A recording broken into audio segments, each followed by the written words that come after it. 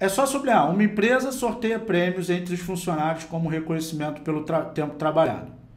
A tabela mostra a distribuição de frequência de 20 empregados dessa empresa que tem entre 25 e 35 anos trabalhados.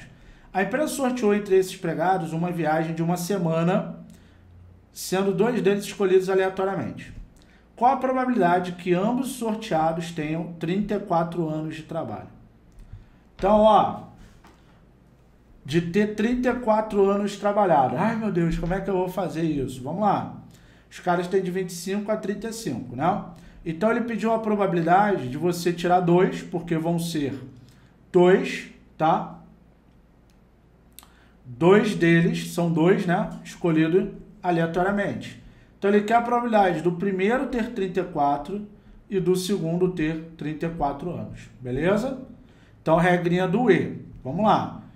Como é que é a regrinha do E? 34, galera. O total é 20, são 20 empregados. 34 são quantos caras? 5. Então, o que eu quero? 5 sobre 20, beleza? 5 sobre 20.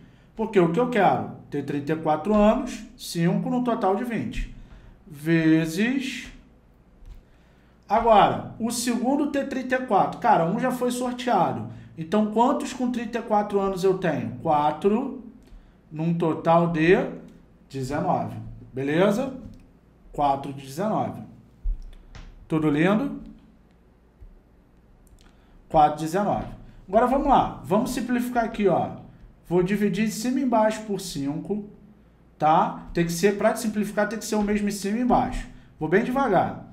5 dividido por 5 dá 1, 20 por 5 dá 4 vezes 4 sobre 19, beleza? Aí, ó, posso cortar o 4 com 4, ó, tuf, tuf. Daí sobrou 1 em cima e 19 embaixo. Então, qual é essa probabilidade? 1 sobre 19, zero trauma, ó. 1 sobre 19, qual é o meu gabarito? Letra B, de batendo no Enem com o método MPP, zero trauma.